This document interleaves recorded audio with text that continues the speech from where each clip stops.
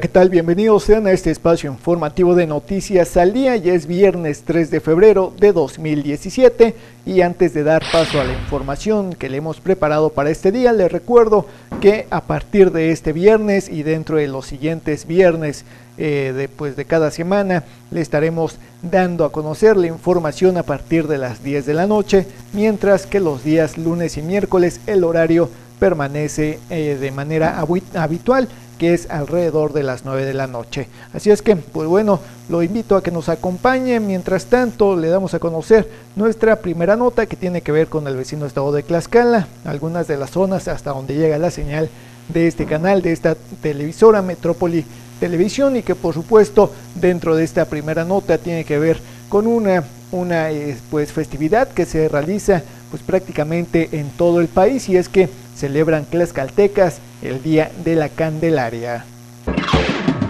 La comunidad de la Candelaria Teotlalpan despierta a las 4 de la mañana para recibir las imágenes de otras comunidades que llegan a visitar a la Santa Patrona.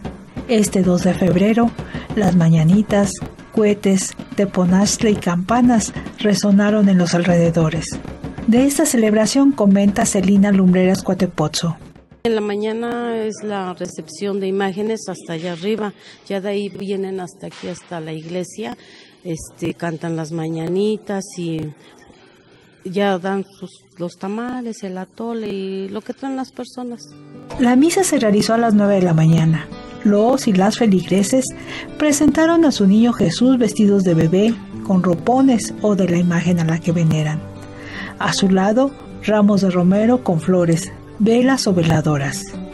Ana Esteban Carro, como otros años, asiste a misa. Es la tradición traer al niñito Dios a presentarse al templo después de los 40 días de que nació. Y se traen semillas también y velas, las cuales ahorita nos van a regalar que se prenden para todo el año. En las, cuando hay tempestad, cuando hay este temblor, cuando hay algún desastre natural.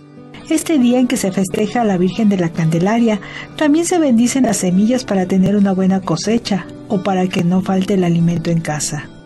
Aquí se, se celebra este día porque es la bendición de las semillas también.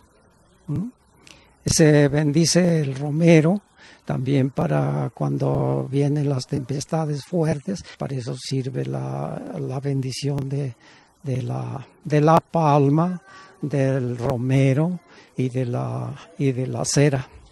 Cuando hay fuertes tempestades, prende la cera, se, se, hace humo. José Luis Molina Ramírez compartió los tamales y el atole que se le repartió a los asistentes a las mañanitas y la misa.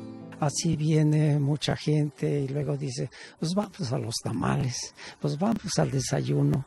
Eh, por ejemplo, hoy en estas, en, esta, en estas épocas ya se este, invitan todos los pueblos y ya traen sus imágenes, se darán cuenta que allá están todas las imágenes ahí. Entonces, este, ya para que la, para que pues la fiestecita se haga un poquito más, este, más visible, ¿no? 2 de febrero, Día de la Luz, de bendición de semillas y de veneración a la Virgen de la Candelaria en la comunidad de Teotlalpan.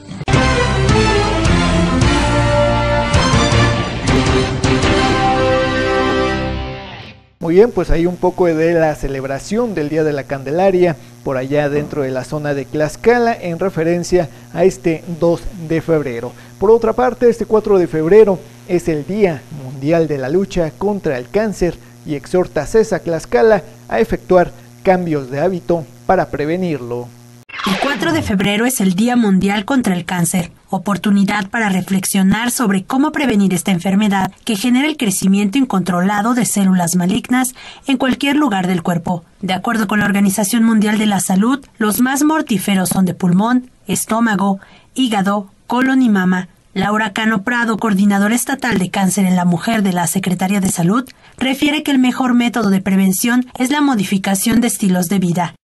No tomar no fumar porque estas eh, adicciones están altamente asociadas a la presentación de cáncer. Sí están asociadas. La otra, que si tenemos obesidad o sobrepeso, implementemos estrategias para activación física, no sé, tal vez caminar, ¿no? Los 20 minutos diarios que debemos hacerlo, evitar los alimentos azucarados, el refresco, los jugos, todo ello que no es una alimentación saludable, aumentar la ingesta de frutas y verduras. Y frutas no quiere decir jugos, fruta es como tal, ¿no?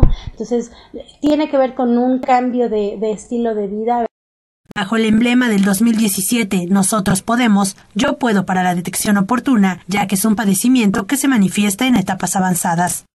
El cáncer de mama, el cáncer de cuello uterino, sí tienen pruebas que nos avisan que hay lesiones premalignas que pueden convertirse en cáncer y de esta manera se detectan etapas tempranas y se curan, ¿no? Es bien diferente para cuando alguien tiene cáncer de pulmón, cáncer de estómago, de próstata o de colon, pero sí hay signos que nos van avisando en nuestro cuerpo que algo no está bien.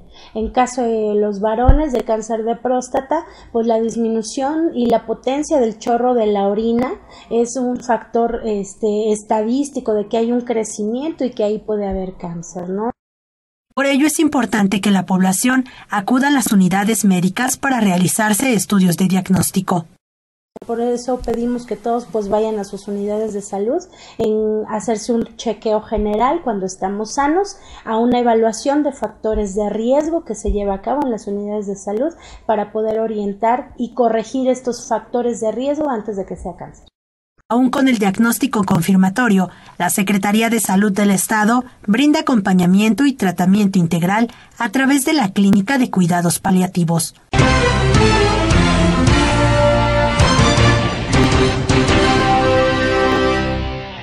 Por otra parte, anuncia Gobierno del Estado actividades taurino-culturales en Valquírico con la finalidad de promover el turismo en Tlaxcala. Roberto Núñez Baleón, próximo secretario de Turismo del Estado, presentó el programa de actividades taurino-culturales que se realizarán el 11 de febrero en Valquírico, ubicado en Santa María Nativitas, y destacó que el objetivo es ampliar la derrama económica y turística que originará el evento taurino a toda la región, mientras que Joaquín Aces Perdomo, representante de socios de Valquírico, detalló que este 11 de febrero, además del festejo taurino programado a las 14 horas, se realizarán presentaciones de flamenco, venta de artesanía y muertas, eh, muestras, perdón, muestras gastronómicas, por lo que invitó a los aficionados y turismo en general a disfrutar de las actividades y por supuesto también de el complejo en general. Además agradeció el respaldo e interés del gobierno del estado para seguir impulsando actividades culturales en este complejo turístico ubicado en el municipio de Nativitas. Además, pues le comento que febrero es el mes ibérico en el mismo complejo con actividades desde este 3 y hasta el 26 de febrero. Le invitamos también pues a que consulte toda esta serie de actividades, pues ya le decíamos durante todo este mes de febrero prácticamente. Cambiamos de información y de región y es que descubren nueva toma clandestina en Texmelucan. Durante un recorrido de vigilancia, elementos de la Policía Estatal y de Seguridad Física de Petróleos Mexicanos, Pemex, descubrieron una toma clandestina presuntamente para la extracción ilícita de combustible, esto en la colonia El, Llano, perteneciente a la Junta Auxiliar San Cristóbal Tepaclasco, en el municipio de San Martín Texmelucan. En el lugar, personal de Pemex procedió a sellar la toma en donde además se encontró una manguera de 50 metros aproximadamente con la que probablemente se extraía el, hidrocarburo, aunque no se reportó la detención de personas tras el hallazgo. En otra de las notas solicitan en Texmelucan reactivación en las escuelas de operativo Mochila Segura. La Regiduría de Educación de San Martín Texmelucan a cargo de Refugio Ramírez Madrid dio a conocer que solicitó de manera formal a la Coordinadora Regional de Educación número 18, a la CORDE, el regreso del operativo Mochila segura para prevenir casos como el ocurrido hace unos días en una escuela de Nuevo León. Al respecto detalló que la propuesta presentada consiste primero en llevar a cabo un primer filtro en el hogar, donde corresponde a los padres de familia verificar el contenido de la mochila de sus hijos, y el segundo filtro se realizaría en la escuela, para lo cual podría conformarse un comité integrado con alumnos, tutores y profesores para una mayor seguridad. Finalmente, consideró que con la reforma educativa, el gobierno federal restó autoridad a los maestros, por lo que ahora es más difícil detectar casos de violencia y verificar lo que el alumno porta en su mochila, y por ello pidió de manera formal la reactivación del operativo. Pues ahí esta situación generada dentro de aquella zona de San Martín Texmelucan, o más bien esta petición realizada al acorde allá dentro de aquella zona escolar. Por nuestra parte, este, eh, pues finalizamos este primer bloque. Lo invito a que continúe con nosotros. Vamos a una muy breve pausa. Regresamos con más de la información preparada para este viernes ya 3 de febrero.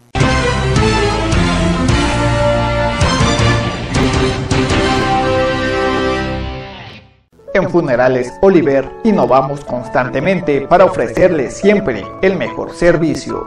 Contamos con cruz de cedro, pino, aluminio y de metal con el mejor precio y calidad, así como los servicios que usted ya conoce. Inhumaciones, exhumaciones, crematorio ecológico, capilla de velación, sala de embalsamado, exhibición de ataúdes, estacionamiento y servicio de carroza. Además, realizamos traslados nacionales, internacionales y desde cualquier parte de Puebla hacia Huejotzingo. Le atendemos las 24 horas, los 365 días del año en Avenida Miguel Jerónimo Martínez, 1101, cuarto barrio en Huejotzingo y en Boulevard Forjadores en Manantiales. Llámenos 227 27 60405. Recuerde que el buen trato y calidad no tienen por qué costarle más. Funerales Oliver, certificados ante salubridad. Pregunte por nuestros paquetes a previsión. Funerales Oliver, cumpliendo 20 años a su servicio gracias a su confianza.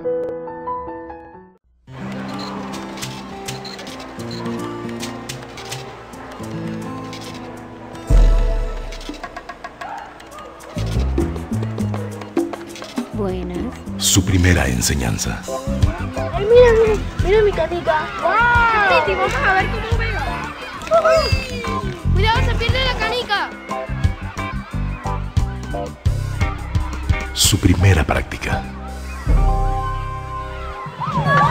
¿Por qué? Mi hijo no fue, muchacho. La última. No se daño a nadie. No culpes a la escuela, no culpes a la calle, no culpes a los amigos. Se aprende en casa.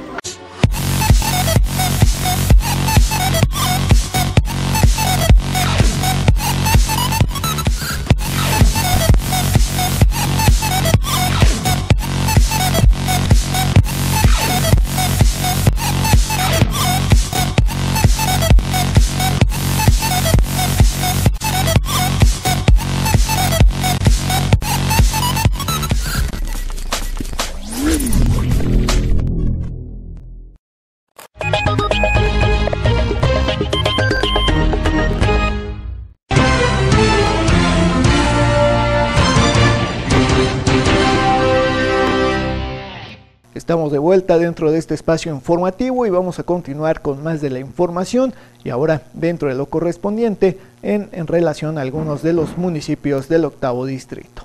Habitantes de Coronango se manifiestan ante presunta privatización del agua potable. Este día decenas de vecinos del municipio de Coronango y algunos otros municipios se manifestaron en las instalaciones de la presidencia en señal de protesta ante la aprobación del Cabildo de Coronango a la reforma al artículo 12 de la Constitución Política de Puebla, en la que se estipula que el manejo del servicio del agua pasará a manos del gobierno del Estado.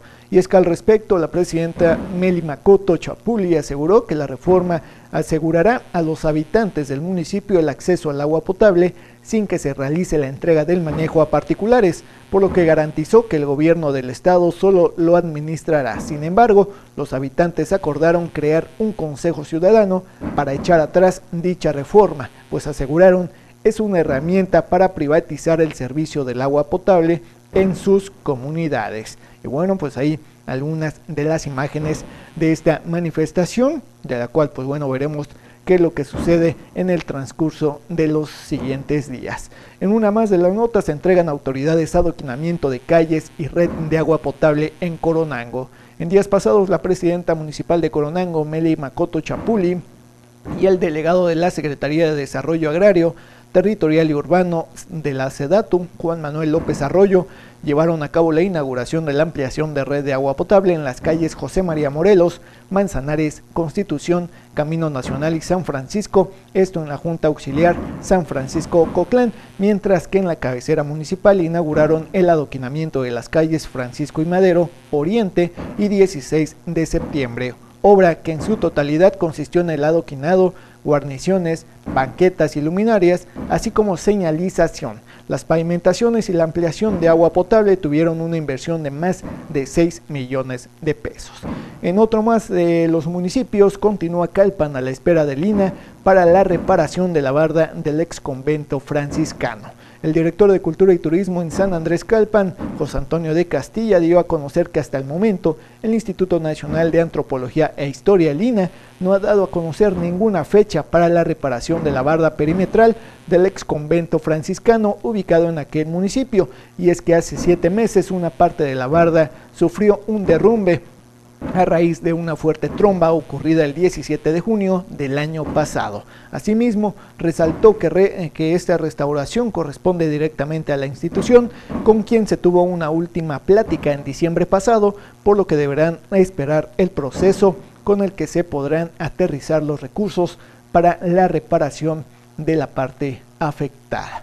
En otra más de las notas, cambiando de información, yéndonos por supuesto ahora a otro de los municipios y cabecera de este octavo distrito, y es que bueno, eh, en Huejotzingo tendrá, tendrá recursos del Fortasec para mejorar cuerpo policiaco. A partir de este año, el municipio de Huejotzingo recibirá 10 millones de pesos que deberán ser destinados para mejorar la seguridad en la demarcación y que provienen del fortalecimiento para la seguridad de los municipios, el Fortaseg.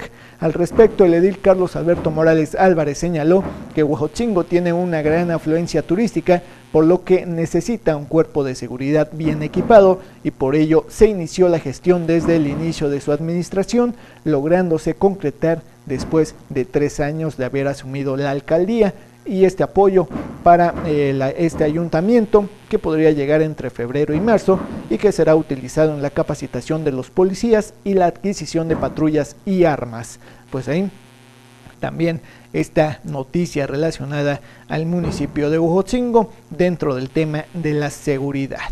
Eh, para ir finalizando ya con nuestra información de este día, Morales Álvarez entrega certificados de la Estrategia Nacional denominada Un Cuarto Más en juntas auxiliares. Este jueves y este viernes el presidente municipal de Huejotzingo, Carlos Alberto Morales Álvarez, realizó la entrega de certificados del Programa Nacional Un Cuarto Más a familias beneficiadas de las juntas auxiliares de San Luis Coyotzingo, Santa María Atezcac, Colonia Benito Juárez, Santa María Nepopualco, San Miguel Tianguizolco y San Mateo Capultitlán. Es un programa que se encuentra en el gobierno de la República. Es un programa que viene específicamente de la SEDATU, propiamente del gobierno federal. Y para el cual lo que hay que hacer es gestionarlo porque no crean que llega por automático a los municipios. No porque yo sea el municipio de Huejotzingo, porque sea el municipio de Calpan, porque sea el municipio de Texmelucan, llega a mi municipio. No llega, ¿eh? Hace un rato lo decían ellos. Muchos intervinieron para hacer el trabajo de andar viendo lo de los papeles. ¿Cuánto les costó su, su cuarto adicional? ¿Cuánto? Y un peso lo que decía Ciro, entonces sí, fuerte el aplauso para Ciro. Él, lo dijo, no costó ni un peso. Y fíjense, así debe de ser. Los programas que, que yo gestiono, junto con todos mis compañeros, porque también gestiono no nada más con los compañeros que son directores o con los que son regidores. Yo también a veces ando gestionando y veo de qué manera le hago invito a otros miembros de la sociedad civil por ejemplo, a los representantes de la CNC. Todo esto lo digo para que sepan que Atesca ha sido apoyada, está siendo apoyada y seguirá siendo apoyada.